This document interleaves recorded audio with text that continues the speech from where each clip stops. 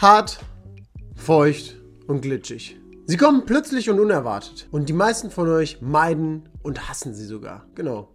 Nasse Wurzeln. Wunderschönen guten Tag, Freunde. Mein Name ist Nakidai und ich heiße euch herzlichst willkommen zu einem neuen Fahrtechnik-Video hier auf meinem Kanal. Ich wünsche euch sehr viel Spaß. Kurze Anmerkung vorab, wie ihr an meinem bescheuerten Outfit gerade auf meinem Kopf sehen könnt, ist es extrem kalt heute.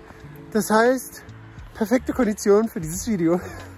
Es gibt sie nicht nur in der Off-Season, sondern auch an regnerischen Sommertagen und wenn die Wälder dicht sind, dann sogar noch ein paar Tage danach. Wurzeln, noch schlimmer, nasse Wurzeln. Aber warum hassen manche von euch sie so sehr? Heute werde ich euch ein paar Tipps und Tricks verraten, mit denen ihr hoffentlich viel anfangen könnt und eure Ängste gegen diesen krassen Endgegner besiegen könnt. Lasst uns mal anfangen, wie meiner Meinung nach das Bike-Setup sein sollte, um einen Wurzelteppich zu bezwingen. Äh, vorab muss ich noch sagen, es ist ein sehr großer Unterschied, wenn man mit einem Fully oder mit einem Hardtail fährt. Wir gehen jetzt einfach mal davon aus, dass wir alle Fully fahren. Die Einstellung bei eurem Bike sollte meiner Meinung nach, meiner Meinung nach, wie folgt aussehen. Achtet darauf, dass ihr ein etwas weicheres Fahrwerk fahrt. Wenn ihr eure Federgabel schon zu weich findet und sie immer einen Durchschlag hat, dann könntet ihr noch ein oder zwei Volume Spacer mit einbauen damit eure Gabel trotzdem weich gefahren werden kann, aber dank der Volume Spacer oben hin etwas progressiver arbeitet. Ein cooles Video dazu findet ihr hier oben in der Ecke, das habe ich euch verlinkt von den GMBN-Jungs auf Deutsch. Das könnt ihr euch mal gerne reinziehen, die haben Volume Spacer sehr gut erklärt. Vielen lieben Dank dafür. Bei Luftdämpfern könnte man auch Spacer einsetzen, aber meistens sind die schon komplett verbaut. Es sei denn, ihr seid ein Leichtgewicht und wurdet gut beraten. Dann braucht ihr so etwas nicht. Im Gegensatz zum Kolldämpfer, den man leider nicht so leicht einstellen kann. Im schlimmsten Fall, im schlimmsten Fall, muss die Feder geändert werden. Wenn ihr jedoch beim Kauf gut beraten worden seid, dann werdet ihr jedoch die richtige Stärke an Feder in eurem Rad verbaut bekommen haben. Bei einem etwas zu hart eingestellten Fahrwerk kann es dazu kommen, dass die Wurzelschläge zu hart sind für die Arme und die Beine. Somit kann man das Geruppe nicht so gut abfedern und man kommt schnell außer Kontrolle. Wenn man ein weicheres Fahrwerk fährt, dann kann man die Wurzeln gut wegdrücken und man hat einen sehr großen Spielraum, dass das Fahrrad nicht direkt abhebt, wenn man ein bisschen außer Kontrolle gerät. Aber wir sind hier nicht beim Einstellungsvideo für ein Fahrwerk, sondern wie wir Wurzeln fahren. Wenn ihr Bock habt zu sehen, wie ich mein Fahrwerk persönlich einstelle, dann schreibt es doch auch gerne in die Kommentare. Dann gibt es noch ein Video dazu. Weiter geht's mit den Reifen. Sollte man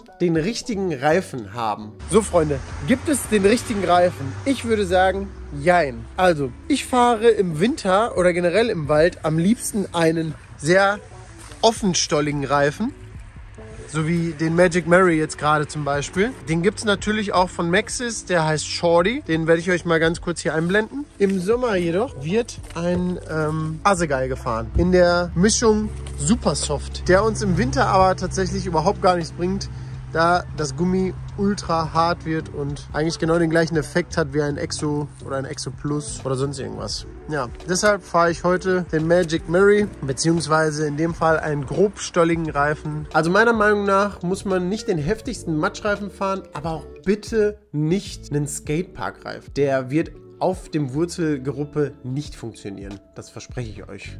Ist auch aalglatt, ne? Oh nein, nein, nein, nein, geh weg, geh weg.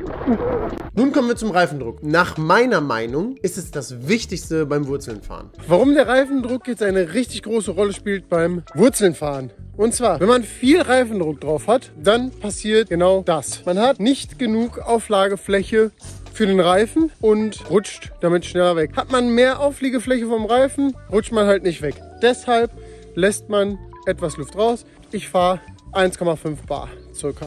Äh, aber nur im Wald. Oder auf Downhill vielleicht 1,7. Ja, zumindest in den Wäldern, wo wir fahren, fährt man halt nicht ganz so schnell. Deshalb braucht man keine 1,7 Bar, sondern 1,5. Reichen da vollkommen aus. Man muss sich das so vorstellen. Ein stark aufgeblasener Reifen hat wenig Abrollfläche und kann nur wenig Fläche von der rutschigen Wurzel berühren. Das heißt, ist der Reifen stark aufgepumpt, kann der Reifen nur einen ganz kleinen Teil der Wurzel berühren und hat somit viel zu wenig Auflagefläche, um sauber drüber zu kommen. Wenn der Reifen wenig Luftdruck hat, dann kann er mehr von der Wurzel berühren und hat somit eine viel größere Auflagefläche, um über die Wurzel zu kommen. Somit könnt ihr nicht so schnell wegrutschen. Okay, wenn das Fahrrad jetzt richtig eingestellt ist, können wir weitermachen mit der Körperhaltung.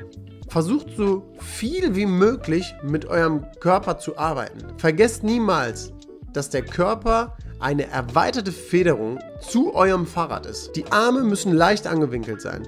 Bitte nicht zu stark nach außen, denn sonst können die Schultern nicht mitarbeiten und wenn man die viel zu weit außen hat, dann könnte es im schlimmsten Fall passieren, dass bei einem zu harten Schlag sich die Schultern auskugelt. Lasst die Hände an eurem Lenker. Bitte greift den Lenker nicht zu stark, sonst verkrampfen sich irgendwann eure Hände. Greift so stark an den Lenker, wie ihr eine Eiswaffel halten würdet.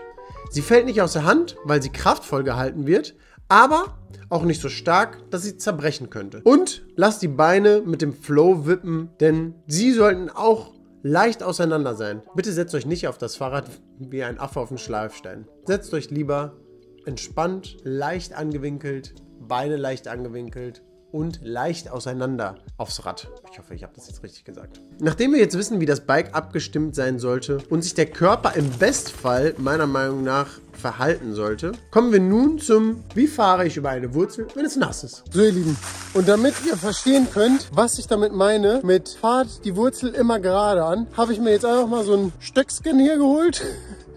Dann kann ich euch an jeder beliebigen Stelle zeigen, wie ich das meine. Wir denken uns jetzt einfach mal, dass das hier äh, die Wurzel ist. Okay, let's go. Nein, das ist mein Stock, Harry. Nun gehen wir einfach mal davon aus, hier geht es bergab, die Wurzel ist quer. Wir fahren so. Zweites Szenario. Ist die Wurzel so quer, bergab, versuchen wir möglichst so anzufahren. Nicht so. Das rutscht. So. Ihr müsst verstehen, das ist ein bisschen eigenartig, eine Wurzel ein bisschen quer anzufahren.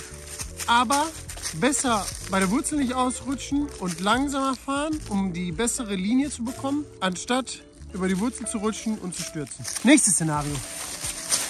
Die Wurzel liegt quer in einem Hang. Wir fahren in einem Hang ja meist leicht zur Wand geneigt. Wenn wir aber jetzt über diese Wurzel fahren und weiterhin in Richtung Wand geneigt sind, passiert das. Wir rutschen aus. So, wir fahren weiter diesen Hang. Nochmal. Sind geneigt zur Wand, sehen die Wurzel, gehen leicht rüber. Zack. Nichts passiert, nichts ausgerutscht. Natürlich zur anderen Seite genau das gleiche. Viertes Szenario. Die Wurzel liegt quer in Richtung Gefälle. Was machen wir jetzt? Wir sehen die Wurzel natürlich vom Weiten, fokussieren sie an und fahren etwas weiter runter im Hang und ziehen hoch, um gerade über die Wurzel zu kommen. Zumindest so gerade wie möglich. Fahren wir schräg am Hang, ist das. Wir fahren und rutschen so nach unten weg. Zur anderen Seite natürlich genau das gleiche. So, was machen wir, wenn die Wurzel so quer von unten nach oben rechts liegt? Also sozusagen in unsere Richtung nach oben.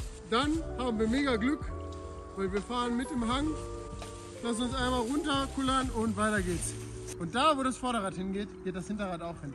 Also, wenn es nicht allzu weit wegrutschen kann, dann werdet ihr, dann wird das Hinterrad euch immer folgen. That's it. That's all. Weiter geht's. Hand aufs Herz. Wegrutschen kann man immer. Aber man kann es auch bestmöglichst verhindern, indem man die Wurzeln nicht schräg anfährt. Fahrt über dicke Wurzeln am besten immer gerade. Sobald die Wurzel quer sein sollte, sucht euch eine Rut oder eine Stelle, bei der ihr gegenwirken könnt. Eventuell, wie in diesem Fall, einen Baum. Ruts. Was sind denn diese sogenannten Ruts? Es ist so etwas wie eine kleine Mulde, in der man sich sozusagen gegendrücken kann. Hier haben wir ein perfektes Beispiel. Und zwar diese Wurzel hier wie ihr sehen könnt, aalglatt. Harry, zeig mal, wie glatt die ist. Sehr gut. Man rutscht an dieser Wurzel definitiv nach unten weg. Aber da hier ein Baum ist, könnte man mit dem Vorderrad hier gegenkommen und somit einen Gegendruck erzeugen, um nicht weiter zu rutschen.